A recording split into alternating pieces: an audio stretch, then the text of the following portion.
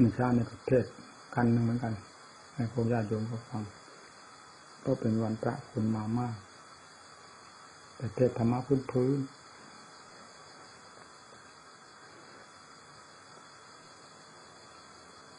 เราจะเห็นกำลังของของจิตเราเกี่ยวกับด้านภาวนา เราเห็นได้ชัดเจน ในเวลาจวนตัวเข้ามา คือตาธรรมราจิตที่ไม่ได้รับการอบรมหนึ่ง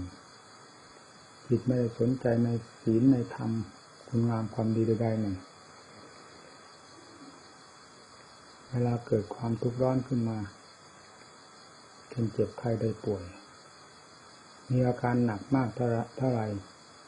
จิตยิ่งมีความระสำระสาย หาที่เกาะที่ยึดระลึกอะไรก็ไม่ได้ มีแต่ความชั่วเต็มตัว เมื่อมีที่เกาะจิตก็ไปเป็นอารมณ์กับความชั่วทั้งๆทที่ไม่อยากเกาะ ความที่เป็นอารมณ์กับสิ่งที่ชั่วนั้น มันเป็นเรื่องเกาะกันแล้วพอลมหายใจขาดไปเท่านั้น ความชั่วกับใจมันก็เป็นไฟเอาไปเลย อันจึงสอนให้สร้างความดี เวลาจำเป็นจิตใจต้องคว้า เช่นอย่างคนตกน้ำเอง ลงอาบน้ำธรรมดาธรรมดาก็ไม่คว้าอะไร คนตกน้ำต้องคว้า เพราะกลัวจมน้ำตาย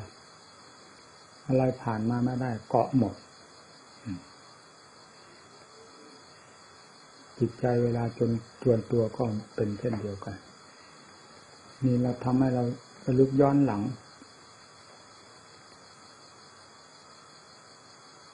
ก่อนบวชแต่จวนจะบวชแล้วล่ะป่วย มันป่วยคัดอกเนี่ย มันจะตายจริงในคืนวันนั้น ก็มีแต่พ่อกับแม่นั่งดู เพราะตอนนั้นมันหนักมาก มีแต่ว่ามันไม่เผลอตอนนั้นเองก็ธรรมดาไม่เผลอก็เป็นไม่เผลอธรรมดา ไม่ใช่เราได้มีสติสตังด้วยการอบรมอะไรเลยมันไม่เผลอทราบแต่ว่ามันอาการหนักนี่จิตมันคิดนะนี่นี่เราตั้งใจว่าจะบวชนี่จะยังไม่ได้บวชเลยเลยทำให้คิดย้อนหลัง ถึงการสร้างความดีก็คิดไปกระทั่งไปวัดไปว่าไปใส่บาตรกับผู้ใหญ่คิด ไปทำบุญตักบาตรในวัดอะไรทำทำให้คิดไป แต่ก็รู้สึกว่า ไม่พอกับความต้องการบุญของเรามีน้อย ถ้าตายในเวลานี้ก็บุญที่อยู่ทำไม่น้อยนี่มันก็คงไม่มีกำลังพอหวังมันเป็นเหมือนกับความอธิษฐานภายในจิต ขณะที่กำลังเจ็บหนักอยู่นั้นนอนอยู่นั้นว่าอย่างไรก็ขอให้หาย เพราะเราตั้งใจจะบวชดีแล้ว เมื่อหายวันนี้ก็ไม่นานเราก็จะบวชวาง แล้วก็หาย ส่วนจะหายด้วยการอธิษฐานหรืออะไรเราก็ทราบไม่ได้ ทราบได้แต่ว่าหาย แล้วก็ถึงได้บวช เวลาบวชมาประพฤติปฏิบัติจนกระทั่งมาถึงปัจจุบันวันนี้ ความที่เคยเป็นห่วงในเรื่องบุญเรื่องบาปอะไรอย่างนั้น มันก็ค่อยหมดปัญหาไปเรื่อยๆ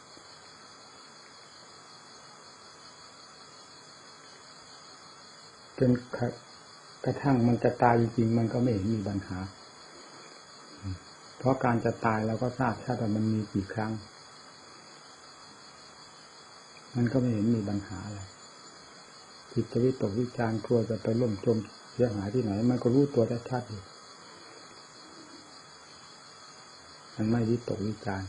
ไม่ก่อความเดือดร้อนให้เจ้าของหากมันทนไม่ไหวมันจะไปจริง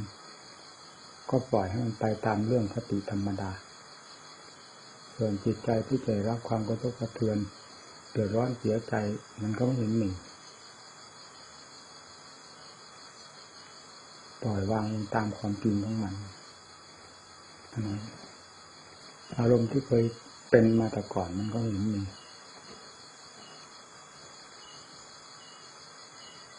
เมื่อวานนี้มันก็แสดงออกแง่หนึ่งของความตายให้ได้เห็นชัดๆว่าเรื่องหัวใจวายนี่เป็นอย่างนี้เอง คือเหมือนกับมันติดตันเข้าในหมอกหัวใจ หาทางเดินออกเข้าหากันไม่ได้คือกักคือกักเข้าไปเลยทันทีทันใดถ้ามันมันติดอยู่นั่นไม่นานกว่านั้นมันก็จะต้องล้มถ้ายืนอยู่ถ้านั่งก็ต้องล้มทั้งหมดกำลังที่จะต้านทานกันเราต้องรีบไปนั่งซะก่อน เพราะตอนนั้นมันยัง มันยังไม่คลี่คลายอะไรออกเลยรู้ว่ามันจะล้มตอนยืนอย่างนั้นรีบไปนั่งแล้วกำหนดจิตคือทำความรู้สึกอยู่ในความเป็นอันนั้น มันจะทำหน้าที่อะไรต่อไปจะหนักไปหรือเบาลงไปจิตมันก็ทราบของมันอยู่ชัดๆสังเกตดู เพราะความเป็นอันนี้มันเป็นเรื่องของธาตุของขัน คือความไม่สะดวกของของส่วนหนึ่งในร่างกายของเรานี่ที่แสดงตัวให้เห็นชัดๆเป็นลักษณะจะตายเราก็ทราบมันชัดเจนจนกระทั่งมันคลี่คลายออกไป แล้วก็ทราบมันทราบอยู่ทุกระยะนั่นเอง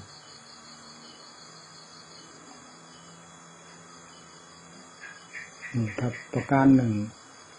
สมมติว่าเราไม่ได้อบรมทางด้านจิตใจมาเลย ไม่ว่าใคร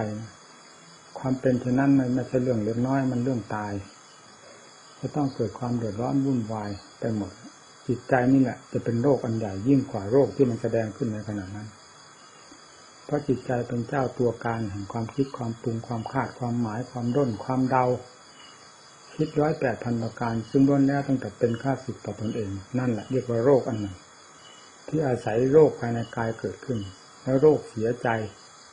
ก็แสดงตัวขึ้นภายในใจ โรคนี้เลยกลายเป็นโรคหนักไป แทนที่ความอยากให้มันหายความกังวลกวายอยากให้ทุกข์ดับไปอยากให้ร่างกายปกติไม่อยากตาย เลยกลายเป็นเรื่องซ้ำเติมกันลงไป เพราะใจเสียกำลัง ใจเสียหลักโรคภายในใจมันก็หนักขึ้น โรคนั้นก็หนักอยู่แล้วกำลังใจที่จะช่วยพยุงโรคนั้นให้ค่อยบรรเทาลงไปมันไม่มี มีแต่เป็นเรื่องซ้ำเติมกัน คือโรคใจกลายเป็นโรคโรคซ้ำเติมกับโรคนั้นเสียมันอาจผ่านไปได้ อาจตายได้นะ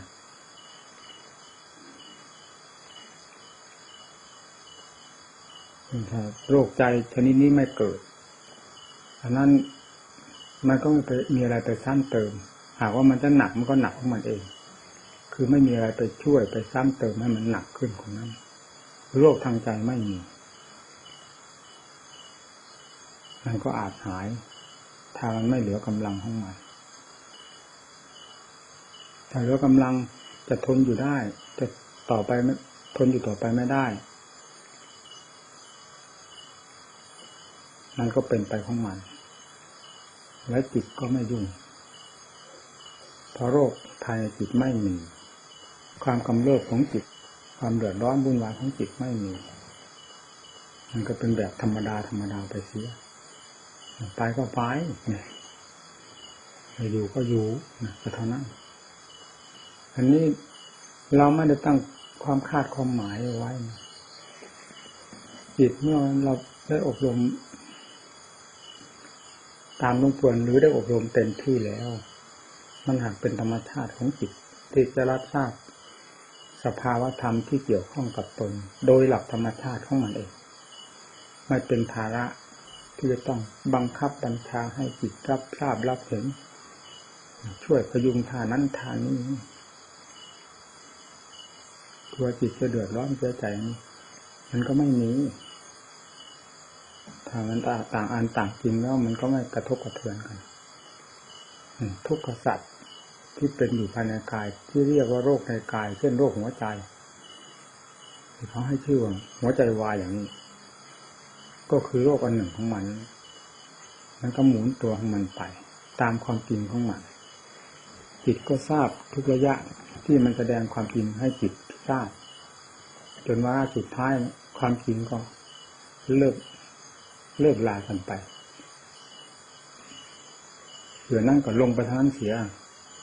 อันนี้เป็นความจริงของตัวยังไง ก็ไปตามเรื่องของตัวเสียมันไม่เกี่ยวข้องกันผลของการอบรมจิต เป็นอย่างนี้ ถ้าไม่ได้อบรมเลย มันเดือดร้อนมากเวลาเป็นอะไรมาเนี่ย โรคจิตนั่นแหละมันมากกว่าโรคอื่นกระวนกระวายแล้วสั่งแล้วสาย เดือดเนื้อร้อนใจยุ่งไปหมดเลยเป็นการเสริมโรคภายในกายให้กำเริบรุนแรงมากขึ้นท่านจึงสอนให้อบรมให้สร้างคุณงามความดีไว้เพื่อ เป็นเครื่องพยุงเป็นเครื่องพึ่งพิงของใจ เพราะใจนี้แน่อยู่แล้วร้อยเปอร์เซ็นต์ ว่าจะต้องพึ่งต้องเกาะ เมื่อตัวเองยังช่วยตัวเอง หรือเป็นตัวของตัวไม่ได้อย่างเต็มภูมิแล้วยังจะจะต้องอาศัยความดีทั้งหลายที่สร้างมานี้ เป็นเครื่องที่เครื่องหนูเป็นเครื่องเสวยเป็นเครื่องพาอยู่พาไป พายรับความสุขความสบาย ไม่มีสิ่งอื่นใดนอกจากกุศลที่สร้างเอาไว้นี้ ที่จะเป็นมิตรสหายอันพึ่งเป็นพึ่งตายได้อย่างแนบสนิท จนกว่าว่าจิตจะเป็นตัวของตัวได้โดยสมบูรณ์ ดังพระอรหันต์ท่านนั่นหมายถึงท่านเป็นท่านโดยสมบูรณ์แล้วอย่างกุศลคุณงามความดีทั้งหลายที่เป็นเครื่องสนับสนุนก็เป็นเหมือนบันได พอขึ้นถึงที่แล้วบันไดกับเราก็หมดความหมายกันไปจิตเมื่อผ่านพ้นโลกสมมุติไปหมดทั้งบุญทั้งบาปแล้ว คำว่าบุญก็หมดปัญหากันไป ที่จะต้องพยุงจิตดวงนั้นอย่างไรอีกนั้นไม่มี เพราะจิตดวงนั้นได้ถึงความเป็นตัวของตัวที่หลุดพ้นไปตามความประสงค์แล้วนะอำนาจของกุศลที่ส่งจิตให้เป็นอย่างนั้น ไม่ใช่อำนาจของอย่างอื่นอำนาจของกุศลที่เราสร้างมาด้วยวิธีการใดๆก็ตาม จะด้วยการให้ทานก็ตามรักษาศีลก็ตามภาวนาก็ตาม รวมลงแล้วเป็นก้อนบุญเป็นเครื่องสนับสนุนจิตใจเป็นเครื่องยึดของใจ เป็นเครื่องหนุนใจให้หลุดพ้นไปโดยลำดับจนกระทั่งถึงหลุดพ้นเต็มภูมิแล้วอันคำว่าบุญนี้ก็หมดปัญหาไป เพราะผู้นั้นเต็มภูมิแล้ว ไม่ต้องการอะไรกับโลกสมมุติอีกแล้ว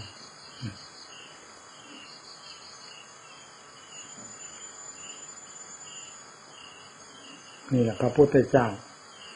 ท่านสั่งสอนสัตว์โลก การสร้างการบำเพ็ญคุณงานความดีทั้งหลายท่านก็ทรงสร้างทรงบำเพ็ญมาแล้วอย่าง เต็มกำลังความสามารถของพระองค์ เวลาผลแห่งความดีทั้งหลายที่สร้างมา หนุนพระองค์ก็หนุนให้ถึงความพ้นทุกข์ประจักษ์พระไทย จึงได้นำอุบายวิธีนั้น ทั้งฝ่ายเหตุคือการบำเพ็ญทั้งฝ่ายผลคือ สิ่งที่พระองค์เสวยมาสั่งสอนสัตว์โลกมีพยายามเดินดำเนินเดินตามท่าน อย่างน้อยก็มีความผาสุกร่มเย็นเป็นสุขติ อันเป็นที่หวังของใจ มากยิ่งกว่านั้นก็ถึงความหลุดพ้น หายห่วง เราที่ว่าพุทธบริษัทคือลูกเต้าเราก็ของพระพุทธเจ้าก็พึงสนใจในการปฏิบัติแก้ไขหรือบำรุงตนเอง ด้วยคุณงามความดีทั้งหลาย ในเวลาที่เป็นการอันควรเป็นฐานะที่จะพึงทำได้อยู่เช่นนี้อย่าปล่อยให้เวล่ำเวลา เสียไปเปล่าๆโดยกิเลสมาหาเลสหาเรื่อง ฉุดลากออกจากแนวทางที่ดีงามเพราะธรรมะกิเลสนั้นต้องเป็นค่าศึกกับความดีเสมอ ต้องหาอุบายวิธีกีดกัน ซึ่งเราก็เคยเชื่อมาแล้วจนสังใจ อาจจะไม่ได้คิดว่าอุบายต่างๆ ที่ถุดลากเราให้หนีจากการบำเพ็ญคุณงามความดีหรือให้พลาดจากการบำเพ็ญกุศลในวันหนึ่งเวลาหนึ่งเดือนหนึ่งไปนั้น ว่าเป็นของจริงก็ได้ แต่ความจริงเป็นคนมายาของกิเลสซึ่งมันเคยหลอกเรา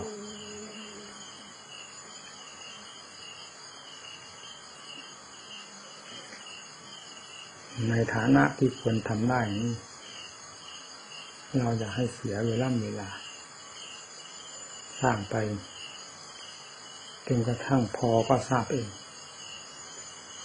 เราจะไปคอยให้คนอื่นเขาส่งบุญส่งกุศลให้เรา ซึ่งเป็นของไม่แน่นอนนะเช่นเดียวกับเราไปอยู่ในป่า ถ้าสถานที่เราอยู่นั้น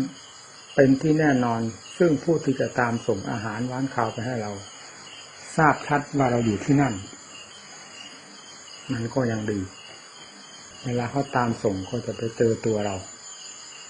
ที่เราไปอยู่ ไม่เป็นที่เป็นฐานนั่นเลยไม่ทราบจะ ให้เขาไปค้นหาที่ไหน ถึงจะเจอเรา เมื่อไม่เจอแล้วอาหารร้านค้าที่เขานำไปส่งเรานั้นจะไปไหน เขาก็ถือกลับมา เพราะไม่มีใครรับก็เป็นของเขาอยู่โดยตรงถ้าว่ามีผู้รับไปเจอเราที่อยู่ในป่านั้น เราก็ได้รับ เขาก็ได้รับ การส่งส่วนบุญส่วนกุศลให้ทิศส่วนกุศลให้ ผู้ที่ล่วงรับดับไปก็มีลักษณะเช่นนั้นเหมือนกันเป็นของไม่แน่นอน หนูที่ส่วนกุศลไปถึงผู้นั้นไม่ถึงเสีย เพราะไม่ใช่ฐานะที่จะรับได้กุศลนั้นจะเป็นของใครก็เป็นของเจ้าของเขาที่ผู้ทิศนั้นเสีย เราก็ท้องแห้งมันไม่แน่ สิ่งที่แน่ก็คือเราทำเองให้เห็นประจักษ์อยู่นี่ ร้อยเปอร์เซ็นไม่มีพลาดไปไหนไม่มียั่วไหลไปไหน ตายแล้วก็เป็นนิมนต์พระปกุศลาทำมาให้ยุ่งเป็นมันไม่มีเรื่องเลยเท้าอะไรส่วนผู้ที่ทำบุญทำบุศลนิมนต์พระมาสวดกุศลธรรมาถวายปัจจัยทยทานนั้นเขาก็ได้บุญ ไม่ได้ปฏิเสธเรื่องนี้ แต่ผู้ตายนั้นคือได้หรือไม่ได้ไปตกอยู่ในป่าไหนก็ไม่รู้กุศลธรรมมาก็ จะถึงหรือไม่ถึงก็อยู่ในฐานะ ถึงจะถึงได้ ถ้าไม่ใช่ฐานะก็ถึงไม่ได้ เนี่ย เช่นเดียวกับคนที่ตามไปส่งอาหารกันในป่า ซึ่งไม่มีจุดหมายปลายทางของผู้ไปอยู่ป่านั่นเองผู้ส่งเมื่อตามหาไม่เจอก็นำกลับมาบ้านเท่านั้น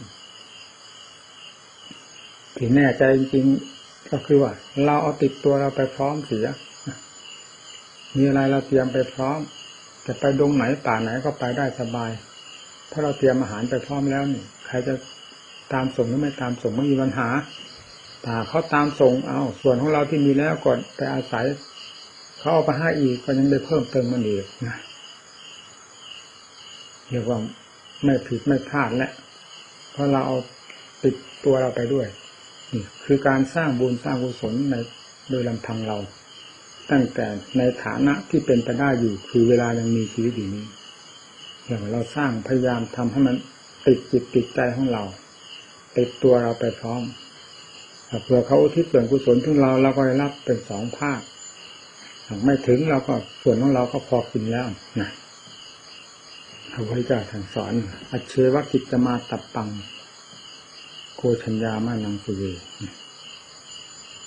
นะหิโนสังคารเตนะมหาเสนีนมกินาความเพียรที่จะพึงได้พึงถึง ในทางกุศลควรจะทำเสียตั้งแต่บัดนี้ อย่าตัดวันประประกันพรุ่งท่านบอก เพราะความตายนั้นไม่มีเวลาเวลา ไม่นัดไม่หมายกับใครทั้งนั้นเมื่อ ถึงการอันควรแล้วก็เป็นไปตามนั้นเลยเห็นว่าจะเอาอะไรมาบังคับบัญชาจะต้านทานสู้พยายามมัจจุราชไม่ได้ เมื่อเป็นอย่างนั้นจึงไม่ควรนอนใจพยายามทำเสียตั้งแต่มีชีวิตอยู่นี้หนักท่านสอนยังไงท่านไม่สอนให้คนประมาทตายแล้วทำบุญแต่เขาทำบุญหากันยังได้ ว่าเฉยๆด้วยความขี้เกียจ อาศัยแต่คนอื่น ยังมีชีวิตอยู่ก็อาศัยเขา ตายแล้วก็ยังจะอาศัยเขาทั้งทั้งที่ตัวสามารถทำได้อยู่ มันไม่สมควรจึงรีบทำเสียงแต่แบบนี้แต่เพราะอย่างยิ่งการภาวนา เป็นที่รวมแห่งกุศลทั้งหมด ทานกุศลที่เกิดจากทานจากศีลอะไรรวมเพราะนั้นหมด กุศลน้อยใหญ่รวมเข้าจิตตภาวนา นั่นเป็นแหล่งใหญ่สำหรับรับกุศลทั้งหลาย ท่านจึงสอนให้อบรมจิต ทายนะอันใหญ่โตก็คือจิต เหมาะสมอย่างยิ่งอบรมจิตให้ดีก็เหมือนกับว่าเราตกแต่งภาชนะไว้ให้ดี เป็นที่รวมแห่งกุศลทำจิตใจให้มีความสงบเยือกเย็น จิตที่มีความเดือดร้อนมากน้อยมันขึ้นอยู่กับความคิดความปรุงซึ่งรบกวนจิตใจ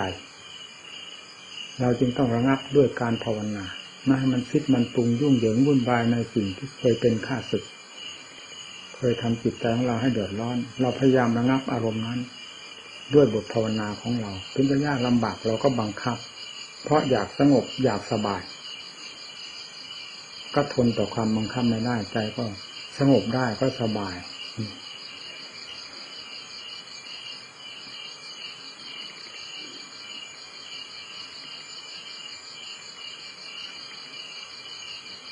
กำหนดอนาปานสติก็ให้รู้ลม เข้าลมออกรู้อย่างนั้นจะไปคิดเรื่องอะไรจะไปเสียดาย ความคิดนั้นคิดนี้ ในขณะที่ภาวนาคิดแล้วมันก็ได้ทอกคิดหนั่นไม่ได้เกิดผลประโยชน์อะไรแต่คิดกิดคิดคำว่าพุทโธพุทโธอยู่ในนั้นเสียมีเป็นความคิดที่เป็นธรรมเป็น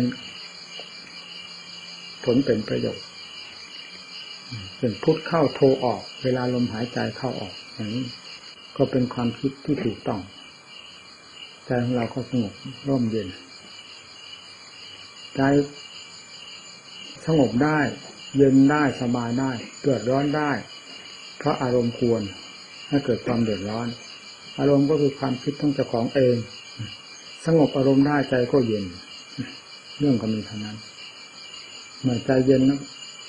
อะไรก็เย็นไปหมดนะถ้าใจร้อนนะทั้งโลกเหมือนจะร้อนไปหมด เพราะความสำคัญอยู่กับใจ โดยไม่ปรากฏว่าใครจะมีความเย็นเลย เมื่อเราร้อนเต็มที่แล้ว เหมือนกับโลกทั้งโลกนี้เป็นไฟไปด้วยกันเมื่อใจของเราเย็นแล้วก็เหมือนกับโลกทั้งโลกนี้เย็นไปด้วยกันกับเรา ความจริงก็ผู้ร้อนก็ร้อนผู้เย็นก็เย็นผู้ทุกข์ก็ทุกข์ผู้สุขก็สุขเป็นธรรมชาติของมันอย่างนั้นตรงนี้เป็นความรู้สึกของใจให้พากันอบรมภาวนาเรื่องตายนะมันตายด้วยกันทุกคนเลย พญามัจจุราชตีกาไว้แล้วตั้งแต่วันเกิดจะว่าไงวันไหนเขาจะมาเอาตัวไปก็ไม่รู้เราเรื่องมีเรื่องค้นขวายบางเพ็ญกุศลยิ่งเลยภาวนาให้มีสติสตังด้วยแล้ว เวลาความตายมาถึงตัวจริงก็ให้มันยิ้มรับกันเป็นไรมีแต่ความโศกเศร้าโศกาบรรดาโลกทั้งหลาย ขณะที่จะตาย ผู้มีธรรมผู้สมบูรณ์ด้วยสติปัญญา ทำหน้าที่ของตนได้อย่างเต็มที่แล้วจะไม่มีความโศกเศร้าโศกอะไร กับสิ่งเหล่านี้ เห็นเป็นคติธรรมดา ธรรมดาธรรมดา เมื่อยังอยู่ก็ยังมีอะไรกินไป ถึงเวลาจะไปแล้วหรือออกไปก็ไปมีอยู่ต้องมีไป มีมาต้องมีไป มีเกิดต้องมีตาย มันเป็นของคู่กันจะไปแยกย้ายจากกันไม่ได้เล่นเสียแต่ไม่เกิดเนี่ยเท่านั้น ความตายจึงหาที่ตามมาไม่ได้ เพราะไม่มีร่องรอยให้เป็นมา สาเหตุคือความเกิดไม่มีความตายซึ่งเป็นตัวผลจะเอามาจากไหนหาที่ตามมาไม่ได้ท่านจึงว่านักทุกข้างนัตถิอชาตัดสัตทุกย่อมไม่มีแก่ผู้ไม่เกิดนั่นเท่านั้นละเอาละเอวังเหนื่อยเสียงมากนะ